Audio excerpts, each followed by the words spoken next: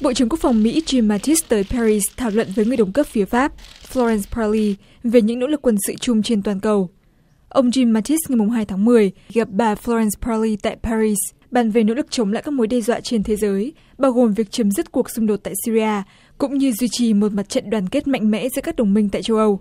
trong buổi họp báo chung với bà pa trả lời câu hỏi về sự hỗ trợ của hoa kỳ đối với các chiến dịch của pháp tại ma li nơi các thành phần chủ chiến nhắm mục tiêu thường dân ma li binh lính pháp và các mục tiêu cấp cao khác. Bộ trưởng quốc phòng mỹ cho biết, washington sẽ duy trì hỗ trợ thông tin tình báo cũng như hậu cần dành cho chiến dịch của pháp tại châu phi. Bộ quốc phòng mỹ đã đánh giá lại sự hiện diện quân sự của hoa kỳ tại lục địa đen sau khi bốn lính mỹ cùng với bốn lính niger thiệt mạng trong một cuộc phục kích tại niger hồi năm ngoái